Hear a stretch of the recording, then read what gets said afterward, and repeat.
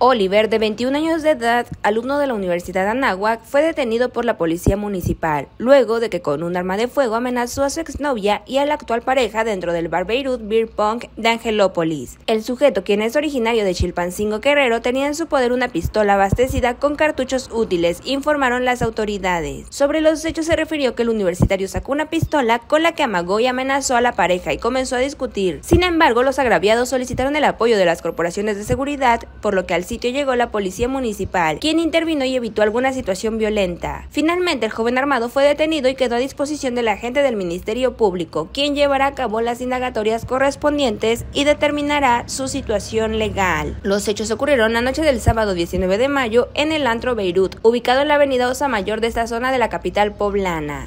De acuerdo con los primeros reportes, Oliver llegó a bordo de un vehículo e ingresó al establecimiento dirigiéndose directamente contra su exnovia, quien estaba con su actual pareja.